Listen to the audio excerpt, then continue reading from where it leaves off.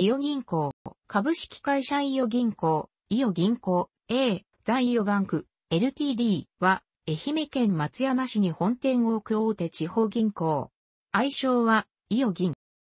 1990年代以降、ほぼ3年ごとに大規模な本部の組織改正を実施している。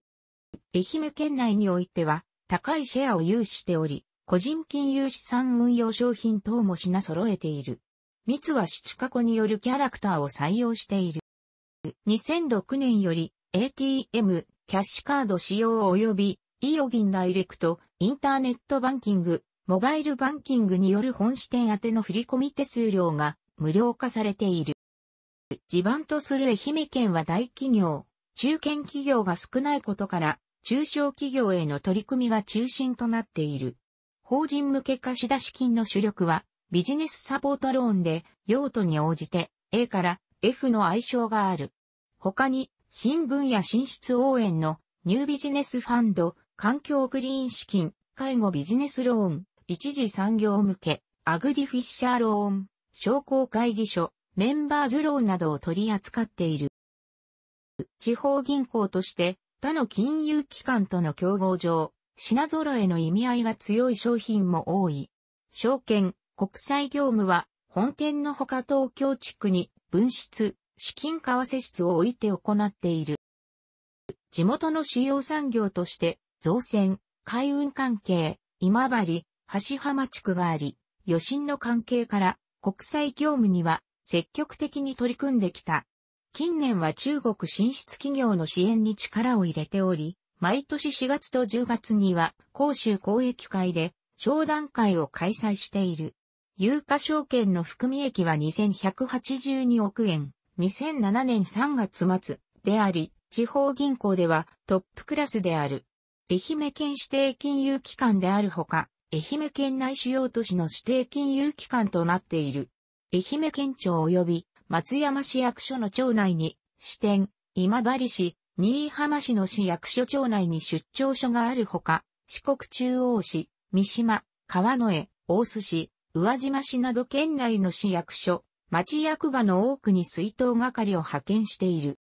店舗の配置見直しを課題とし、2004年から店舗等配合を行っている。新居浜市で伊予銀行の本店というと、一般的には松山市の本店ではなく、新居浜支店のことを指す。新居浜支店では、年末年始など、ご祝儀需要で、診察需要が高まる時期に、診察出勤専用の ATM や両替機を用意している。宇和島市でも、同様に、本店といえば、宇和島支店を指す。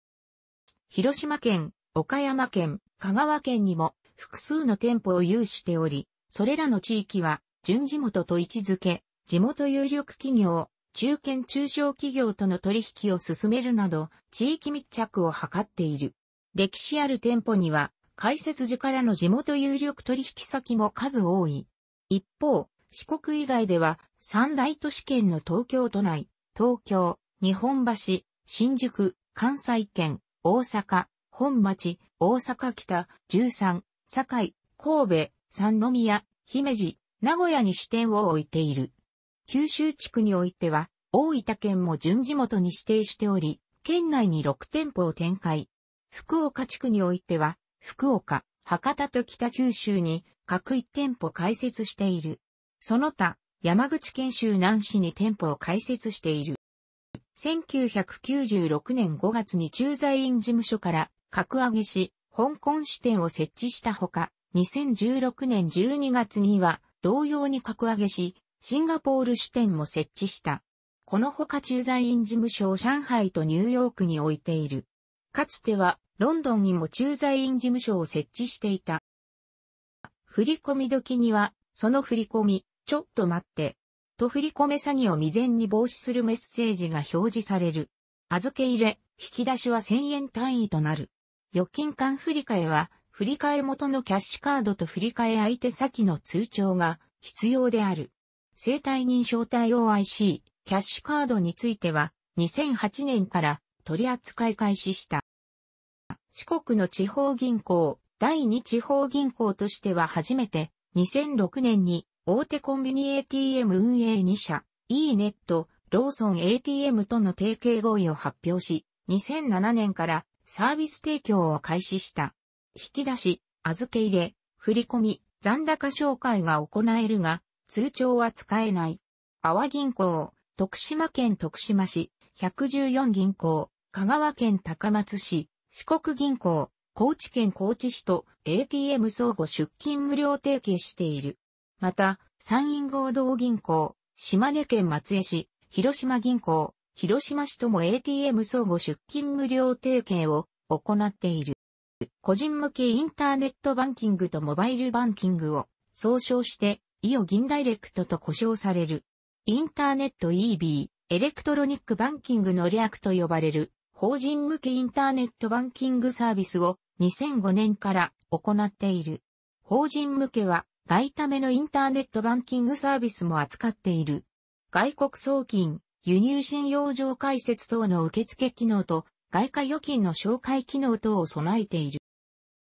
個人向けインターネットバンキングは2000年からサービスを開始している。モバイルバンキングは当初 NTT ドコモの i モード向けのみでスタートし、現在はフォーマ、au のイスウェブ、ソフトバンクの i、携帯にも対応している。各本部、営業店ごとに若手、中堅行員が中心で係ごとの QC サークル、支店長代理以上が中心の方針管理が存在し、半年を1サイクルとして毎回様々な職場内、業務上の問題点を洗い出し、対策を検討、実施し、改善度合い、効果の確認を行っている。特に QC サークルについては、毎回活動の成果を中間期末や年度末に発表し、優秀な活動をしたと認められたサークルは、毎年10月の全業発表大会で発表を披露し、頭取から直接表彰状とトロフィーを受け取る。銀行業務に無関係の関連会社社員にも TQC 全業発表大会への強制参加が義務付けられている。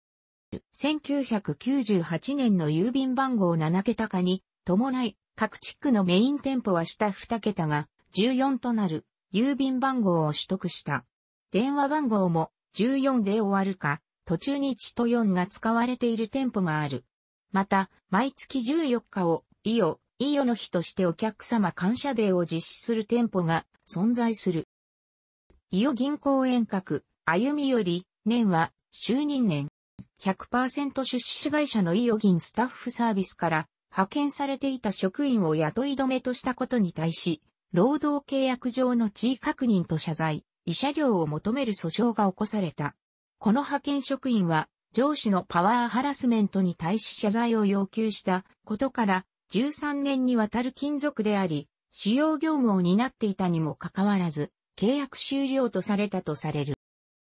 本件訴訟につき、第一審の松山地裁、第二審の高松高裁ともに、派遣労働者と派遣先の伊予銀行との間に雇用契約は成立せず、派遣契約についても更新しないことに違法はないと、判事、松山地裁15.5、22判決、高松高裁平18.5、18判決。原告は最高裁に上告したものの、棄却された最高裁第二小法廷平21.3、27判決。なお、第二審では、派遣先での不適切な対応については、1万円の損害賠償が認められている。